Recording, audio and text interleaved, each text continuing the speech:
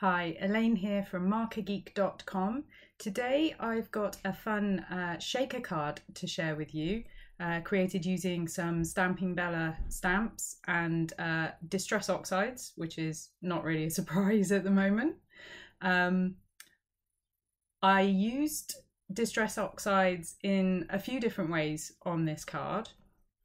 I started out by creating uh, a Distress Oxide background piece, which I used to paper piece the mermaid tail. That's the one I'm creating right now. I used a different Bristol paper uh, to the one that I usually use. Uh, you'll find that different types of paper will give you slightly different results, different effects so it's worth experimenting. Normally, I use the Strathmore Bristol Smooth Surface um, paper. On this particular piece, I used the Strathmore Bristol Vellum Surface. I find for this particular technique, it gives me some really interesting results and effects that are slightly different to the effects that I get on the smooth surface. Um, so basically, I'm just smooshing the ink pads down on a craft mat and then picking up and spritzing with water and then picking up the ink on my paper. The first pass, I kind of just take what I get and dry it and then start picking up more colour. So on the first pass, I'm not really too fussy about the result that I get because because of the pigment properties of these inks, they will layer on top of each other and you will be able to see each colour separately, um, which is one of the really fantastic things about these particular inks. The important thing to remember um, when layering Distress Oxides is to dry between each layer if you want to get the colours to lay on top of each other uh, rather than blend.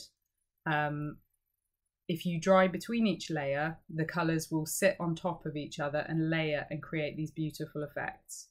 Uh, also, the um, water will create um, the sort of oxidized effects that you get with these particular inks.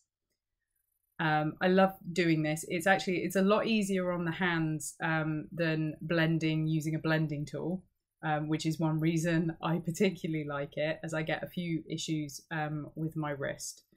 Uh, so while I still do like to do um, sort of blending with a blending tool, I do really enjoy doing this particular technique. Um, so yeah, that's that done. And now I'm using a bottle of uh, Glimmer Mist from Tattered Angels, which I've had forever, along with uh, some clean water in the Distress Sprayer. And I think I've mentioned recently that I only recently picked up the Distress Sprayer bottle. And I really love um, the way that you can very easily vary the droplets of water that you get. When I was using a kind of standard spray bottle, this was a little bit more difficult. So yeah, just getting some really nice shimmer with that uh, glimmer mist. You could also use something like Perfect Pearls uh, in a spray bottle filled with water. I'm just trying to use up some um, glimmer mists that I've had for ages. Here I'm creating the background piece uh, for the shaker card. So I did the same thing, smooshed some ink down on the craft mat, picked it up, and I'm kind of layering it a little bit I'm not trying to get the same sort of effects that I did with the first piece. Um, here I'm just kind of trying to get a sort of interesting watery looking background. And in a second, I'm going to grab a stencil um, from the Crafters Workshop and just to create some interest. I'm not using it to create a sharp um, stenciled image. Uh, initially, I use um, some water and a baby wipe just to pick up a little bit of the colour, just to give kind of a ghostly effect. And then I go back in with a blending tool and um, some Distress Oxide ink. I think it was maybe cracked pistachio to uh, lay over the top just to give some more interest. This was really, I didn't want it to be a crisp um, background uh, because I didn't want it to draw focus from the main elements of the card. I just wanted to give a little bit of interest in the back of that shaker element. Um, so yeah, this is where I grab the cracked pistachio. And then when all this is done, I am going to move on to stamping my mermaid from the Stamping Bella Tiny Townie Mermaid set. Um, I love this stamp set. I begged Emily for ages to create um, some new mermaid stamps, and I absolutely fell in love with the Tiny townie that we got. Uh, she comes in a set uh, with some other elements that you can use for scene building. I just used the mermaid on this particular card. And I'm using the uh, background piece that I created initially in this video. And in my MISTI, I'm going to use my acetate sheet. I've got a little piece of acetate that you often see me using in videos for lining rubber stamps up and basically I use that to line up that mermaid tail just where I want it um, to get the textured area that I want. Um, so I took a while doing this and actually I stamped her several times so that I could use this piece to create several mermaids. I'm only going to use one in this card, but there you go, you can see. And there I'm trimming it out, fussy cutting that tail. Uh, and I'm using, I'm going to use, when all the colouring is done, I'm going to use the coordinating die set for the mermaid stamp uh, to cut out my coloured image and then I will layer this um, fussy cut tail on the top. And here I'm getting into the colouring. Um, I'm going to pop some music on in a minute. I will say that today I'm using um, Bristol Smooth Surface cardstock to colour on as opposed to the cheaper Paper Mill Direct that I've been using recently with my Polychromos pencils. Um, you do get different results. Uh, colouring on the Bristol Smooth surface gives you smoother results. It's less textured, it is smoother than the Paper Mill cardstock. Uh, and the, the pencils do still blend and layer beautifully. I would say that the effect is a little bit better. It's nicer than the paper mill cardstock. However, it is more expensive. Um, I would use either depending on what I'm creating. Um, and yeah, I've sped up the colouring, obviously, or this video would be even longer than it already is. If you're not into the colouring portion, please do just skip ahead and I will come back to you uh, for the finishing of the shaker card.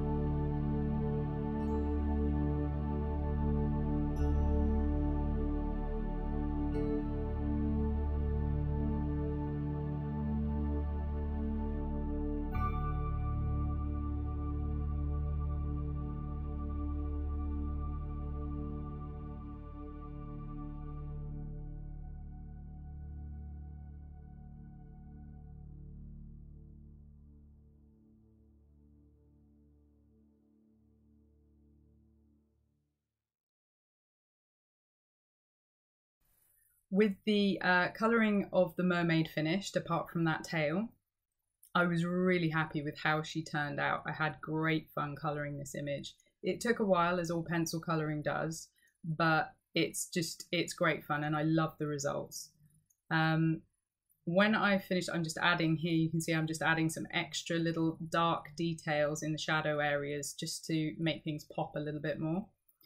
Um, that mermaid tail was going to look a little bit flat, obviously, um, when placed on top of the image with all of the shading and depth in the rest of the image. So I'm just using my pencils to add some shading uh, to areas of the image, uh, to areas of the tail, just to bring it to life a little bit more. Uh, and in the end, it looks really beautiful with all that texture from the Distress Oxide. So working on the tail part was just so easy in comparison to trying to create a similar sort of effect and texture and interest with just colored pencils. So I, I really love this technique for creating mermaid tails and also as you've seen previously in other videos, um, butterfly wings and that sort of thing. Um, it could also be used to create some beautiful dresses with interesting patterns and details. Um, and also maybe flowers would also be really interesting. Um, so yeah, I'm just adding those details and, and pencils go really beautifully uh, over the top of the Distress Oxides. I particularly like the Polychromos pencils for this. They're not quite as opaque as the Prismacolor pencils, um, which has its benefits, meaning that I'm not losing too much of the um, Distress Oxide sort of texture. When it comes to white pencils, uh, the Prismacolor can be better for adding things like highlights in at the end because it is more opaque. Here you can see I've die cut the uh, mermaid. Um, she came out absolutely beautifully and adding that tail on with the shading just it looks so much more interesting and lively. I'm using my preferred liquid adhesive Fabri-Tac just to um, layer that tail on top. Um, somebody asked me uh, in the comments recently about the Fabri-Tac glue um, that sometimes you can experience that it thickens and is harder to get out of the bottle.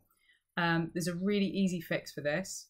It is a solvent-based glue, um, and you can use acetone, just a little bit of pure acetone um, added to the bottle will help to thin it. And um, this is a tip that they actually provide. If you read the small print on the side of the bottle, um, you will also find that tip there. Um, but it's a really easy way of fixing that issue because yes, it does sometimes get a little bit thick and hard to get out of the bottle. Here I'm creating uh, the shaker element. Um, in my previous shaker card video, you would have seen that I was um, having a bit of a whinge about fun foam um, using this exact same die, which is the stitch rectangle frames from MFT. Um, here I cut, as you would have seen, I cut um, the frame from uh, a sort of pearlescent cardstock. And then I also cut a few, I think three or four, from a very thick cardstock from Paper Mill Direct, which I will link in my blog post. Um, it's so thick that the die doesn't cut right through it, which is why you saw me um, finishing off the cuts with a craft knife. It cut most of the way through the card, but I just needed to trace around it with a craft knife to free those die cuts. I love how this one turned out. The shaker element is really sturdy and um, it looks really neat. Uh, and I much prefer it to the result that I got with the Fun Foam. Uh, and also to using um, just foam tape here you can see I'm applying the uh, acetate for the window of the shaker card to that top die cut that's going to go on the top. I'm just popping uh, the shaker part on a card base uh, using the Fabri-Tac glue. I used the score tape to attach the acetate um, so that I knew that it would adhere nicely.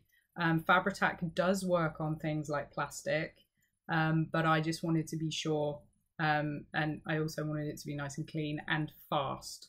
I wasn't sure how long it would take for the um, Fabri-Tac to dry on the acetate. Here I've got some fantastic shaker mixes and sequins from Lucy's cards. I will pop a link to these uh, in the description below and on my blog post. These are new out. I only got them um, this week and they are absolutely gorgeous.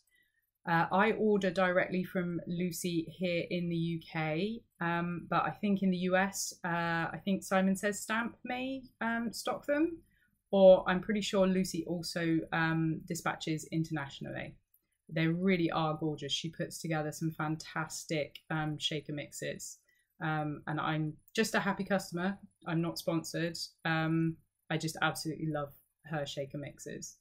Um, resisting the temptation to hoard them um, and actually using them on this card, which is quite amazing.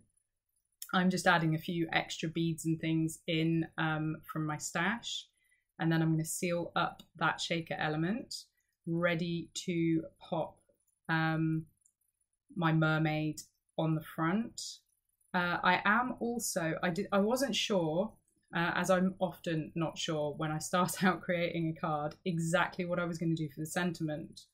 Um, I had initially planned on using a sentiment from the Stamping Bella Under the Sea Sentiment set and maybe popping it on, um, maybe heat embossing it on some black cardstock and popping it on the front.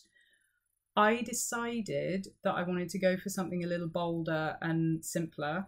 So I grabbed a word die from my stash. I think it's a Paper Smooches word die um, from a set they had um, of various hello dies.